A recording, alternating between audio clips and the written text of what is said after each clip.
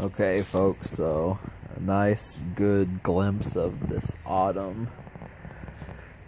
But I kind of felt like going back to reflecting on some of June. Wow, I just walked into a spider web up there, which I was not expecting. I really hope that the spider did not get on me. Those things have been all over the place. It, I'm serious, it was on that wire right there. And that's like 8 feet, 10 feet in the air, down to here. But, uh, so, back in June, I know folks that have watched my videos realize that between June and July, basically like the month of June and the first couple weeks of July are kind of stretched out and it's mainly because my computer broke and I lost all the information that was on it. I haven't talked about this a ton, but there was a little bit there in July where I was really grasping for air just because I had no you know medium to figure out what my next ideas for vlogs were going to be and in in the sort of remedy of that, the main thing that I had to do was I had to basically start from scratch. And so a lot of the things that I was originally talking about in June, and it may have seemed like they were going to be a continuation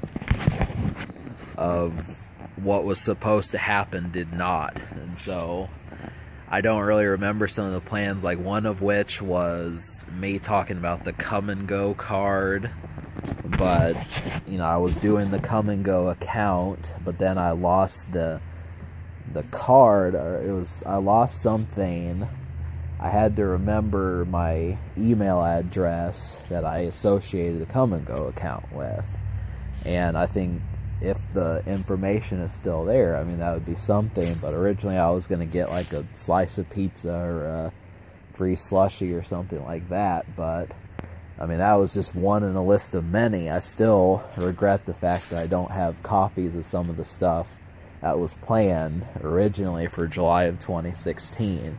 But in spirit to me going to Kum & Go, I did not film this previous walk, but I did get this. So, back in June of 2016, I was going to Kum & Go the gas station a lot more and I picked I started picking up some snacks and so this was one that I had forgotten about and I bought two bags of this and I ate one bag the same day that I got it. So if you look at this bag it's you know this is my hand and that's that so I know it kind of seems strange to be fretting over something like that because year two has obviously not been that much of a problem, but I kind of felt like reminiscing on June a little bit just out of sheer respect for year one, just the ideas that I had.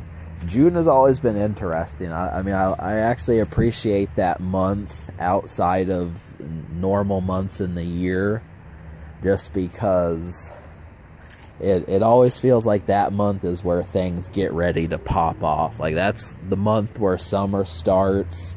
That's kind of the month where the lowdown happens, it feels like to me. I can't prove it, and maybe in the future I will attempt to, but it just feels like June is a month where shit gets cracking in.